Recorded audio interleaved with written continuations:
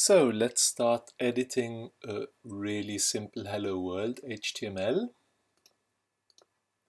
I'll create a new file, type HTML.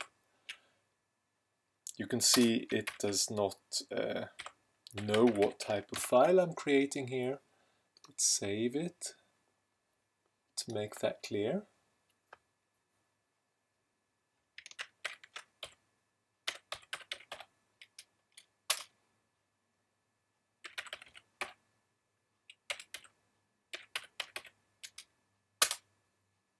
Ah, yes. Okay. So now if I say body, it closes the tag automatically. Let's create a paragraph.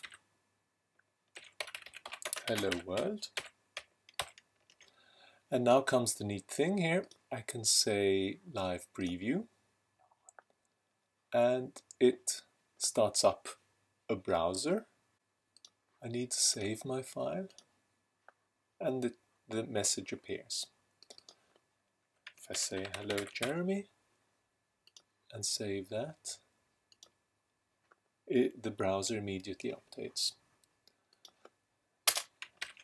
I can add a heading with the style.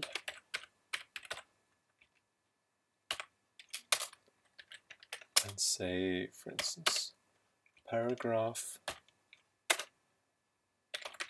font size, large,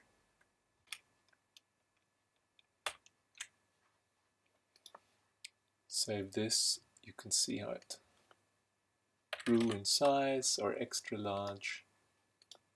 And you can see that shows up as well. So that's pretty cool, isn't it? It goes much, much further though.